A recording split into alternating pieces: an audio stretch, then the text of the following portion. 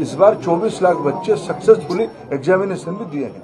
Paper leak का मामला आया है सर। कोई पेपर लीक नहीं बिहार में अरेस्ट हुआ है दिल्ली में भी अरेस्ट हुआ है सर। पेपर लीक दिल्ली में भी अरेस्ट हुआ है मैं आपको विनम्रता से कहूँ पेपर लीक की कोई घटना की कोई पुख्ता प्रमाण नहीं है। ऐसा कुछ कोर्ट के सामने आएगा निश्चित सर कोर्ट में हुआ है अर्जी डाली गई है कोर्ट की। अर्जी अगर किसी ने अर्जी डाला है कोई प्रमाण है क्या? चौबीस लाख बच्चों ने जो नीट की जो परीक्षा दी है, उनके भविष्य के साथ जो खिलवाड़ आज इस परीक्षा के द्वारा हुआ है, उस पर एक जाँच होनी चाहिए, सीबीआई की जाँच होनी चाहिए। उन्हीं बच्चों को ग्रेस मिला था और उन्हीं को री एग्ज़ाम की अपॉर्चुनिटी मिल रही है जो माननीय हाईकोर्ट पहुँचे थे एग्ज़ाम के बाद कि उनका समय का नुकसान हुआ है। बहुत सारा बच्चा माननीय हाईकोर्ट नहीं गया क्योंकि किसी को नहीं पता कि बाद में ग्रेस नंबर मिलते हैं, पहले कभी नहीं हुआ। और 18 साल के बच्चे को नहीं पता है कि मुझे पेपर लिखने के बाद अब हाईकोर्ट जाना होता है। तो मुझे लगता है यहाँ पर राइट टू इक्वालिटी का वायलेशन है। नमस्कार hello and welcome to the Legal Observer आप देख रहे हैं मेरा यूट्यूब चैनल और मेरा नाम है मनोज रस्तोगी। नीट के मामले में गड़बड़ी तो हुई है। अब ये बात कंफर्म हो गई है कि जो कुछ भी नीट एग्ज़ाम्स में चल रहा है, वो नीट यानी साफ़ सुथरा यानी विश्वसनीय क्रेडिबल नहीं है। इसमें अब कोई शक शुबे की गुंजाइश नहीं है। सुप्रीम कोर्ट में आज जो नेशनल टेस्ट एजेंसी है, उसने अपने तरफ़ से ये सुप्रीम कोर्ट को सूचना दी कि हमारी जो कमेटी नीट में जो धांधलियों को लेकर जो शिकायतें आई हुई हैं जो पेपर पेपर लीक को ग्रेस मार्क को लेकर जो कंट्रोवर्सी आई है और पूरे देश में अ, विद्यार्थियों में छात्र छात्राओं के द्वारा जो आंदोलन चल रहा है एक तहलका एक तूफ़ान मचा हुआ है राजनीतिक दल भी उसमें कूद चुके हैं सुप्रीम कोर्ट में पिटीशन की बाढ़ लगी हुई है। सुप्रीम कोर्ट ने ग्यारह तारीख को ही जो एनटीए को कहा था कि क्रेडिबिलिटी में डेंट आया है। सेंटिटी प्रभावित हुई है, सवाल हैं, आपको जवाब देना पड़ेगा। तो एनटीए हिल गया था, इससे पहले एन डिनायल मोड में था। नहीं नहीं, सब कुछ ठीक है। ये एक टिपिकल डिज़ाइन है सरकार का।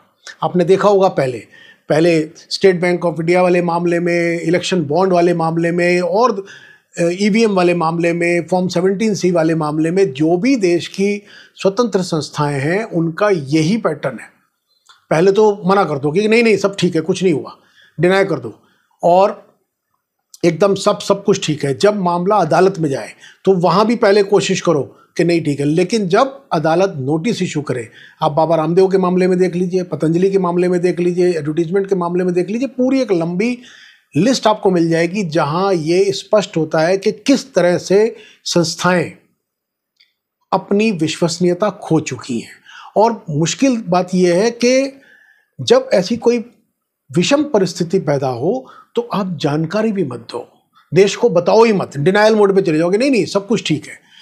सुप्रीम कोर्ट के प्रेशर के बाद चूँकि अब मामला पहुँचा हुआ है, और एक के बाद एक देश भर में इतनी सारी पिटिशंस की बाढ़ आई हुई है तो कितनी चीज़ छुपाएँगे आप? तो आखिरकार एनटीए ने माना, और अब क्या होगा? अब एनटीए कह रहा है कि हमने 11 12 13 जून को हमारी जो समिति है जो जिसको हमने जाँच का वो दिया था जाँच के लिए जो एक समिति गठित की थी हाई पावर कमेटी थी, उसने उसकी विश्वसनीयता और उसकी निष्पक्षता को लेकर भी सवाल हुए थे, क्योंकि वो जाँच में अपने ही चेयरमैन को इन्होंने मौका दे दिया था, लेकिन अभी उसको एक तरफ़ रखते हैं। आज उस समिति ने भी ये माना कि हाँ जो ग्रेस मार्क पंद्रह जो कैंडिडेट हैं, जिनको ग्रेस मार्क दिए, सत्तर से अस्सी के करीब इस तरह के आरोप लग रहे हैं कि प्रति छात्र को 70 से 80 ग्रेस मार्क इस आधार पर दे दिए गए टाइम लॉस के बेसिस पर। अब उसका उन्होंने हवाला दिया सुप्रीम कोर्ट के सामने कि साहब, पहले एक दिशा पंचाल वाला मामला था, उसमें सुप्रीम कोर्ट की गाइडलाइन थी, उसको बेस बनाते हुए हमने ये दिया था। लेकिन इस कमेटी ने शिकायतों के आधार पर जब जाँच की तो प्रथम दृष्टया अभी रिपोर्ट तो पूरी आई नहीं है, लेकिन प्रथम दृष्टया ये माना और सुप्रीम कोर्ट के सामने उसने कहा कि हाँ इन पंद्रह छात्र छात्राओं को, यानी परीक्षार्थियों को, जो कंटेस्टेंट थे, जो अपीयर हुए थे एग्ज़ाम में, उनको ग्रेस मार्क देना ठीक नहीं था। तो उसकी जगह, जिस आधार पर, जिस फॉर्मूले पे उनको दिया, वो ठीक नहीं था। बचे हुए क्वेश्चंस के आधार पर कि कितने क्वेश्चन वो नहीं अटेम्प्ट कर पाए, वो ज़्यादा बेहतर होता। और टाइम लॉस के बेसिस पे दिया जाना उचित नहीं था। इसलिए इन पंद्रह परीक्षार्थियों को ये मौका दिया जाएगा कि वो चाहें तो रीटेस्ट यानी दोबारा से परीक्षा में अपीयर हो सकते हैं। इनके लिए एक अलग से विशेष परीक्षा आयोजित की जाएगी, जिसकी संभावित तारीख तेईस जून मानी गई है, बताई गई है। एनटीए ने प्रस्ताव रखा है। और अगर इनमें से, इन पंद्रह छात्र छात्राओं में से कोई नहीं बैठना चाहता, दोबारा से परीक्षा में रीटेस्ट में अपीयर नहीं होना चाहता तो फिर उसको जो उसके मूल मार्क आए होंगे, जो उसके ओरिजिनल मार्क उसको मिले होंगे, बिना ग्रेस मार्क के, पाँच मई को जो एग्ज़ाम हुआ था, उसमें जितने भी उनको मार्क मिलेंगे, वो उनको दिए जाएँगे। यानी कि परीक्षा दोबारा होगी पंद्रह की। तेईस जून को संभावित तिथि है, तीस जून तक उसका रिज़ल्ट आ जाएगा ताकि छः तारीख से जो काउंसलिंग शुरू हो रही है, उस पर कोई असर ना पड़े। अभी काउंसलिंग को तो रोका नहीं है सुप्रीम कोर्ट ने। सुप्रीम कोर्ट ने हालाँकि कहा है कि ये सारे इशू बाकी जो मुद्दे उठाए गए हैं, पेपर लीक का मुद्दा धांधली का मुद्दा, पूरी प्रक्रिया को रद्द करके दोबारा से कराया जाए, ये जो सारे बात हैं और जो ऐसे विद्यार्थी जो अभी तक कोर्ट को अप्रोच नहीं कर पाए, क्योंकि 24 लाख विद्यार्थियों की बात है ये। देश भर में आंदोलन देश भर में बीस हज़ार से ज़्यादा मतलब अलग अलग स्टेक होल्डर्स ने कोर्ट के सामने अपनी याचिकाएँ लगाई हैं। अलग अलग हाई कोर्ट में, सुप्रीम कोर्ट में याचिकाएँ बिखरी पड़ी हैं। अभी जिन याचिकाओं की हम बात कर रहे हैं, उनमें भी कई प्रमुख याचिकाएँ ऐसी हैं जो अभी सुनने के लिए लिस्ट होनी बाकी हैं। अभी वो भी नहीं हुई हैं, वो कुछ रजिस्ट्री के सामने और कुछ अभी शायद आएँगी जो प्रोसेस में है। तो उस सबको देखते हुए कोर्ट ने फ़िलहाल, आज जो उसने बात कही, जो उसने 11 जून को कोर्ट ने आदेश दिया था, ये 11 जून को जो आदेश दिया था, ये याचिका 4 जून को रिज़ल्ट आने से पहले 1 जून को जो दाखिल हुई थी उस पर था। तो उसके आधार पर एनटीए से सवाल जवाब मांगे गए थे। एनटीए ने एनटीए से कहा गया था, उसको नोटिस इशू किया गया था आठ जुलाई को अभी एनटीए एनटीए को अभी बाकी भी अपना विस्तृत वो देना है। आज जो जानकारी एनटीए ने दी है, उसके आधार पर कोर्ट ने उस इशू को, जो पंद्रह विद्यार्थियों को ग्रेस मार्क वाली बात थी, वो इशू तो आज एड्रेस कर दिया। अब उस पर कोर्ट ने कहा है कि बाकी जो मुद्दे हैं, वो ओपन रहेंगे। उन पर 8 जुलाई को जो रेगुलर बेंच के सामने जब ये मामला उठेगा तो जो जितने भी खुले हुए मुद्दे हैं, उन पर वहाँ बात होगी। इस बीच इस विवाद में एंट्री हो गई है। राजनीतिक तो राजनीतिक दल तो पहले ही कूद चुके थे।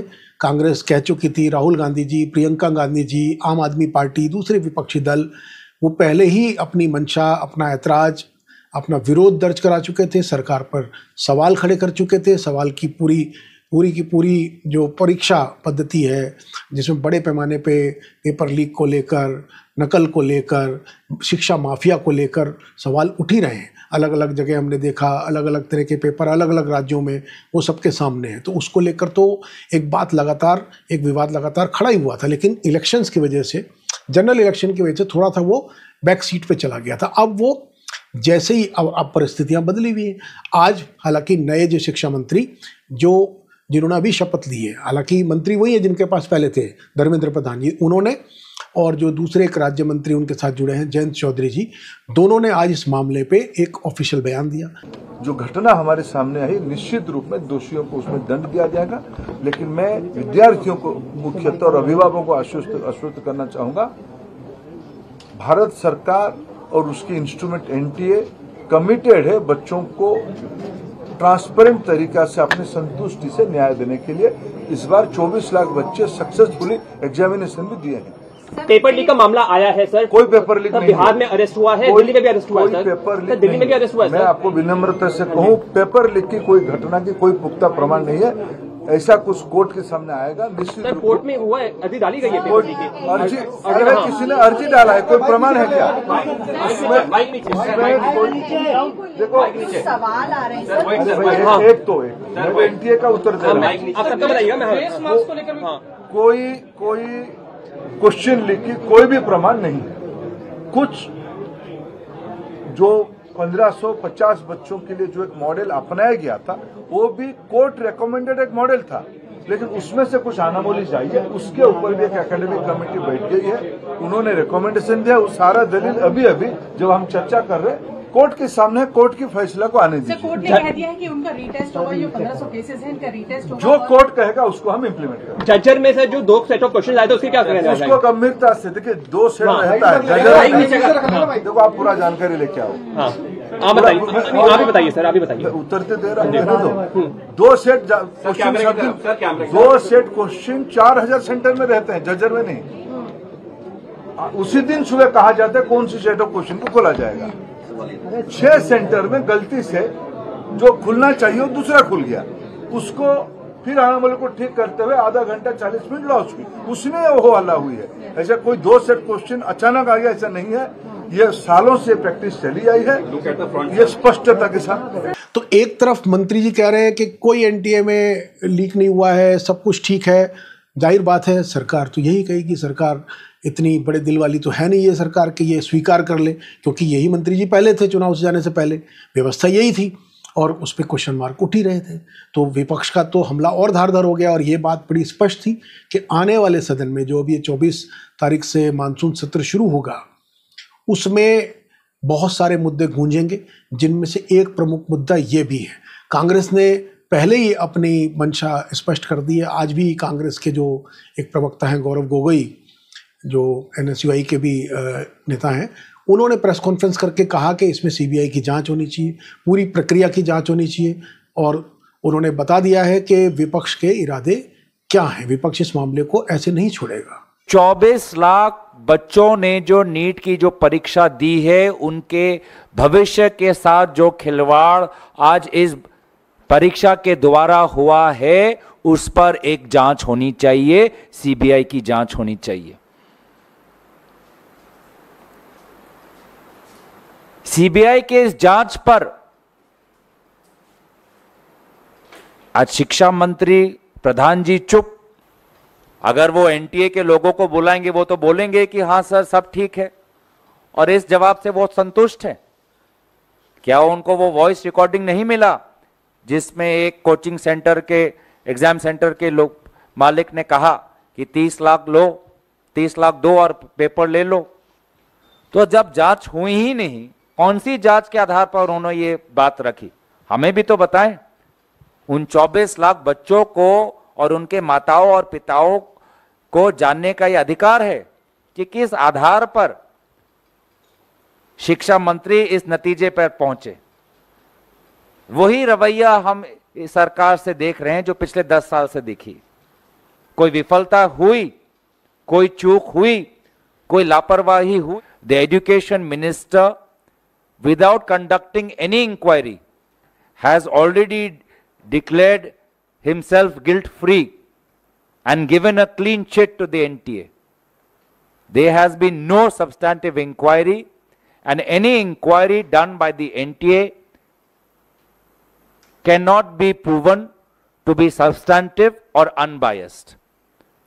This government needs to be far more serious, and the Prime Minister cannot choose to remain silent तो सुप्रीम कोर्ट की जो bench vacation bench justice Vikram Nath और जस्टिस संदीप मेहता की वेकेशन बेंच जो सुनवाई कर रही है नीट के मामलों की, उसमें यूनियन गवर्नमेंट की तरफ़ से, केंद्र सरकार की तरफ़ से जो एडवोकेट कनु अग्रवाल पेश हुई उन्होंने अपना बयान रिकॉर्ड कराया और जानकारी दी सुप्रीम कोर्ट को कि सरकार ने कमेटी गठित की, मंत्रालय ने इस पूरे मामले की जानकारी ली, मंत्रालय इस पर निगाह रखे हुए, मंत्रालय अपने स्तर पे इसकी छानबीन और तफ्तीश करा रहा है और अभी जो प्राइमा फेसाई एक डिसीज़न लिया गया है, वो ये है कि पंद्रह सौ तिरसठ जो स्टूडेंट हैं जिनके ऊपर आपत्ति उठाई जा रही है ग्रेस मार्क को लेकर, इनका रीटेस्ट कराया जाएगा। तो काफ़ी लंबे से समय से हम लोग ये लड़ाई लड़ रहे थे कि पहली सा, पहली बार ग्रेस नंबर क्यों ले आए, पहले क्यों नहीं आए तो उन्होंने खुद एग्री कर लिया कि ग्रेस नंबर का कॉन्सेप्ट नहीं चलेगा। अब उनका ये प्रपोजल था कि इन 1563 स्टूडेंट्स को हम ऑप्शन देते हैं दूसरी बार एग्ज़ाम देने का प्रॉबेबली 23 जून को। अब या तो ये री एग्ज़ाम दें, ये बच्चे, या इनका चॉइस है री एग्ज़ाम ना दें, और जिनके ओरिजिनल नंबर थे, वो इनके रह जाएँगे। ग्रेस वाले नहीं रहेंगे। बट अभी भी दो मुद्दे इसके अंदर ओपन रह गए। पहला वो बच्चे जो माननीय हाईकोर्ट नहीं पहुँच पाए थे कि उनका समय का नुकसान हुआ है उनको तो यहाँ पे कोई ऑप्शन नहीं मिला। सिर्फ़ उन्हीं बच्चों को री नीट का एग्ज़ाम मिल गया दूसरी बार जो। माननीय हाईकोर्ट पहुँचे थे जिनका समय का नुकसान है जिनको ग्रेस नंबर तो बाकी लोग के लिए कोई विंडो नहीं खुली है। तो यहाँ पे एक चीज़ है जो फेयर नहीं लग रही है। दूसरी चीज़ ये लगती है कि जब एनटीए खुद अग्री कर रहा है आ जाके कि हमने फिफ्टीन स्टूडेंट्स को जो ग्रेस दिया, वो पूरी तरह से सही नहीं था, गलत था तो और कितनी डिस्पेरेंसीज हो सकती है उसके अंदर? इसके ऊपर भी देखना चाहिए, क्योंकि उन्होंने ये चीज़ बिना किसी की परमिशन के अपने आप ग्रेस नंबर का कॉन्सेप्ट लाया ला दिया। क्या पास में भी ऐसी चीज़ उन्होंने कभी की है जो कभी कोर्ट तक नहीं पहुँची है? और कितना उनके डेटाबेस के अंदर ऑडिट की भी बहुत ज़्यादा रिक्वायरमेंट क्योंकि वो खुद एग्री कर रहे हैं कि ये चीज़ गलत हुई और फॉर लास्ट सेवन डेज़ वो बिल्कुल नहीं एग्री कर रहे थे बट आज उन्होंने ये चीज़ मान ली। क्या काउंसलिंग इस पे मेरिट पर भी इसका असर पड़ेगा जिस तरह से पंद्रह हाँ बिल्कुल बिल्कुल पड़ेगा रैंकिंग पे पड़ेगा। रैंकिंग बिल्कुल री एग्ज़ाम के बाद ही रैंकिंग डिसाइड होगी क्योंकि काउंसलिंग ये कह रहे हैं कि 6 जुलाई से करेंगे। तो ये कह रहे हैं कि जब 23 जून वाला पेपर हो जाएगा जल्द से जल्द उसके रिज़ल्ट निकाल देंगे और उसके बाद फिर से सबकी रैंक सफल होगी बनेगा। पर हमारा मुद्दा अभी भी ये है कि बहुत से बच्चे अपने समय का नुकसान रिपोर्ट नहीं कर पाए इसके साथ साथ जो पेपर लीक का केस था उसमें माननीय सुप्रीम कोर्ट ने यह कहा कि वो केस बिल्कुल खुला हुआ है, उसकी अगली सुनवाई होगी। और आज माननीय सुप्रीम कोर्ट में जजेस ने पहली बार ये भी बोला कि मान लेते हैं काउंसलिंग हो गई, मान लेते हैं बच्चों का एडमिशन हो गया, उसके बाद भी हमें गैप्स मिलते हैं तो supreme court has all the powers to revert everything तो उन्होंने कहा मान लेते काउंसलिंग होती है बच्चों का एडमिशन हो गया कल को हमें कोई मुद्दा मिलता है भले ही पेपर लीक हो या कोई और डिस्पेंसी हो तो हमारे पास सारी पावर इन चीज़ों को वापस सही आठ करने की को क्या आप लोग इस मामले को उठाएँगे सुप्रीम कोर्ट के समक्ष कि अभी भी विंडोज़ खुले हुए हैं? बिल्कुल। रिव्यू करके रिव्यू रिव्यू करके। रिव्यू करते हैं। देखते हैं ऑर्डर क्या आता है उसके बेसिस पे क्योंकि जो मुद्दे खुले हुए हैं उन पे कैसे आगे अप्रोच करना है legally will take a call on that ये जो एनटीए ने कहा है ना आगे आकर कि हम पंद्रह सौ तिरसठ लोगों को रीटेस्ट करा देंगे, क्या ये समाधान है? आप बताइए, आपकी राय क्या है? क्या इस देश में जो विश्व गुरु होने की बात करता है, उतना बड़ा दम्भ भरता है, क्या हम परीक्षाओं को भी फ्री एंड फेयर नहीं करा सकते? हम बात करते हैं टेक्नोलॉजी की, अभी जो देश में वो डिबेट चल रही है ईवीएम वीवीपैट चुनाव आयोग, अब मतलब हर संस्था के साथ ये होगा ईडी सीबीआई सीबीएसई आईएससी सब चल ही रहा है। बाकी सारे बोर्ड्स की आप देख लीजिए यूपी में डॉक्टरी की परीक्षा में, किस परीक्षा को लेकर किसके पेपर लीक नहीं हुए हैं? बाकायदा हरियाणा में आप सबके सामने वो खबरें हैं कि पूरा का पूरा फार्म हाउस अरेंज करके वहाँ पूरे तीन दिन कराया गया कि सिपाही भर्ती के मामले में। दूसरे मतलब किन किन मामलों की? रेलवे के सब, हर हर परीक्षा के मामले में तो ये निकल के आ रहा है कि पेपर लीक है ऑर्गेनाइज माफिया है, पूरा एक शिक्षा किस तरह से हम अपने देश के भविष्य को क्या ये देना चाहते हैं? कैसे भरोसा दिलाएँगे हम? तो ये जो सारी बातें, ना खाऊँगा, ना खाने दूँगा, चौकीदार, ये सारी बातें तो फिर कमज़ोरी दिखाई देती है ना? इनमें खोखलापन तो नज़र आता ही कि हम जो रूट है, जो फंडामेंटल हम बड़ी बड़ी बातें कर रहे हैं, हम विश्व को ज्ञान देने की बात कर रहे हैं, विश्व की तमाम बातें कर रहे हैं, लेकिन जो हमारा अपना भविष्य है, हम यूट्यूबर से बात करते हैं, हम उन्हें नए नए इनोवेशन को हम एनकरेज करने की बात करते हैं स्टार्टअप इकोनॉमी की बात करते हैं कॉम्पिटिटिव इकोनॉमी की बात करते हैं। तो कैसे वो धरातल पे दिखाई देगी, कैसे वो धरातल पे उस पर यकीन किया जाए जब जो फंडामेंटल है कि हमारे बच्चों के कैरियर के साथ जो जुड़ी हुई चीज़ें हैं, अगर हमारी वो संस्थाएँ भी ठीक से काम ना कर पाएँ, उनके पास ये क्षमता ना हो कि हम एक फुल प्रूफ सिस्टम इवॉल्व कर सके कि मैकेनिज्म इवॉल्व कर लें, ठीक है? हमारा देश बहुत बड़ा है, इतने बड़े पैमाने पर होता है, लेकिन क्या इतने बड़े पैमाने पर टेस्ट कराने का हमारे पास सामर्थ्य नहीं है? क्या हम कोई ऐसी प्रणाली नहीं बता सकते जो जवाबदेह हो अकाउंटेबल और रिस्पॉन्सिव हो? यहाँ आप घूमते रहिए, एनटीए को लेकर के देखिए बच्चों के अंदर कितना गुस्सा है। इतने तरह की इसमें कन्फ्यूजन्स हैं जिनसे एक चीज़ समझ में आती है कि चीज़ें साफ़ नहीं हैं। जो हमारी टेस्ट एजेंसी है, उसकी क्षमता पर, उसकी सामर्थ्य पर, क्योंकि पहले एक बड़े सवाल खड़े होते हैं, क्योंकि पहले आप देखिए, अगर आप नोट करें कि कैसे ये चीज़ें आगे आईं तो आपको नज़र आएगी कि पहले उस संस्था के जो जिम्मेदार लोग हैं, जो संस्था को चला रहे हैं, जो उसके महानिदेशक हैं, उन्होंने किस तरह की बातें कहीं शुरू में? कैसे उनसे संपर्क किया जाए, क्या उनका बयान था, क्या उनकी प्रेस कॉन्फ्रेंस को आप सुन लीजिए, सब कुछ पब्लिक डोमेन में और कितना सोशल मीडिया पर इसका व्यापक, सारे टीवी चैनल्स पे आप उठा के देख लीजिए सोशल मीडिया उठा के देख लीजिए, आपको मालूम चल जाएगा कि कितना आंदोलन, कितने उद्वेलित हैं लोग। और इसका पॉलिटिक्स से कोई लेना देना नहीं है। ये देश की इमेज का, देश की कैपेबिलिटी का, हम जो बाहर की बात कर रहे हैं, अंदर से हम कितने मज़बूत हैं, क्या हमारा सिस्टम रिस्पॉन्सिव है, क्या हमारा सिस्टम फ्री और फेयर है, क्या ये जो हम बातें करते हैं बड़ी बड़ी इनके हमारे जो भी हुक्मरान हैं, हमारे जो हमारे जो हुक्मरान हैं, जो हमारे माननीय परमात्मा के शिखर पुरुष, अवतार पुरुष, प्रधानमंत्री, जो हर चीज़ में उन्हीं की गारंटी लगी रहती थी, हर चीज़ में बच्चों से मन की बात करते हैं तो क्या इस बार वो बच्चों के मन की बात सुनने आगे आए? क्या उन्होंने कोई इस बारे में वो लिया? वह तो हर छोटी से छोटी घटना पर भी उनका बयान आता है। हर छोटी सी बात पर वो खुद एक सीईओ की तरफ़ से सीईओ की तरह से एक्टिवेट रहते हैं, बिल्कुल। तो क्या उनको नहीं इस मामले में व्यक्तिगत रुचि लेकर के देखना चाहिए कि हम कैसे इसको इंश्योर करें। अब ये सवाल, ये मांग, ये जो मैंने बात कही है, ये देश में अगर लोग उठा रहे हैं तो क्या गलत कर रहे हैं? तो स्वाभाविक रूप से उठेंगी बातें। ये तो उठेंगी बातें, और इसका जवाब देना ही पड़ेगा। ये मामला यहाँ रुकेगा नहीं। आठ जुलाई तक अब इसमें और भी कई मोड़ आएँगे। अभी भी जो सवाल बच्चों के और अभिभावकों के मन में है कि ये जो पूरी प्रक्रिया है जिसके लिए उनका सपना है कैरियर है, कि क्या ये मुकम्मल होगी? अभी वो क्या करें? काउंसलिंग होगी तो वो काउंसलिंग कितनी स्थायी होगी, क्या उसके बाद एग्ज़ाम कैंसिल होगा? ऐसी आशंकाएँ सभी के मन में हैं और बहुत स्वाभाविक हैं। इसमें आमूल चूल परिवर्तन की ज़रूरत है ताकि हमेशा के लिए, हमेशा के लिए इस तरह की जो आशंकाएँ और डर है, जिसके बारे में आज सुप्रीम कोर्ट ने कहा भी कि अभी हम प्रक्रिया कैंसिल नहीं कर रहे हैं, किसी को डरने की आवश्यकता नहीं है, हम काउंसलिंग जारी रखेंगे। लेकिन इसमें जो दोनों तरह के तर्क आ रहे हैं ना, एक तर्क ये आ रहा है कि उन बच्चों का क्या ये पंद्रह सौ तिरसठ जो बच्चे इनमें कुछ जेनविन केस होंगे? क्योंकि ये तो नहीं माना जा सकता कि सारे ऐसे होंगे, लेकिन दूसरी तरफ़ के तर्कों को अस्वीकार भी नहीं किया जा सकता। तो बड़ी अजीब सी धर्म संकट की, नैतिकता की स्थिति है कि किसकी बात को सच माने, किसकी बात को नहीं, क्योंकि बच्चों के भविष्य से जुड़ा है। अब इसमें पेपर लीक हुआ है तो कितने लोगों को लीक हुआ है? 2015 का भी लोग उदाहरण कोट कर रहे हैं कि जब 2015 में जो all India pre medical test है, उसका पूरा का पूरा टेस्ट इसी तरह से इकतालीस तिरालीस मामलों के लीक होने की बात आई थी और फिर उसमें इसी तरह की प्रक्रिया के बाद ये मालूम चला, ये कबूल किया गया कि हाँ हुआ था और वो पूरा टेस्ट कैंसिल हुआ था। आज भी अदालत ने जैसा अलग पांडे बता रहे थे, कहा है और उनके वकील भी बता रहे थे कि उन्होंने कहा है कि भाई हमारे पास रिवर्ट करने का तो पूरा ऑप्शन है। तो आप सोचिए, इस देश में जहाँ इस तनाव से परीक्षा के कैरियर को लेकर के मिडिल क्लास के जो सपने होते हैं, उनके लिए कितनी बड़ी बात है। कैसे वो नागरिक, कैसे वो बच्चा जो इस पूरी उससे गुजरेगा उसके अंतर मन पे उसके सब कॉन्शियस पे किस तरह के इम्प्रिंट बनेंगे? कैसे हम उससे उम्मीद करेंगे कि कल वो देश में एक जिम्मेदार नागरिक हो जिसे व्यवस्था में यकीन हो? क्योंकि व्यवस्था किस तरह से काम कर रही है ये समझना ही सब, मतलब बाहर है समझ से बाहर है। तो आप इस सब के बारे में क्या सोचते हैं? क्या आपकी सोच है किस तरह के रिस्पॉन्स की आप उम्मीद करते हैं देश से देश की सरकार से देश की एजुकेशन मिनिस्ट्री से और न्यायपालिका से? लीगल ऑब्जर्वर इस मुद्दे पर निगाह बनाए हुए हैं हमें आप अपने कमेंट से अवगत कराएँ। हम वस्तु स्थिति की जो भी जानकारी होगी आप तक पहुंचाएँगे। बने रहे हमारे साथ। नमस्कार।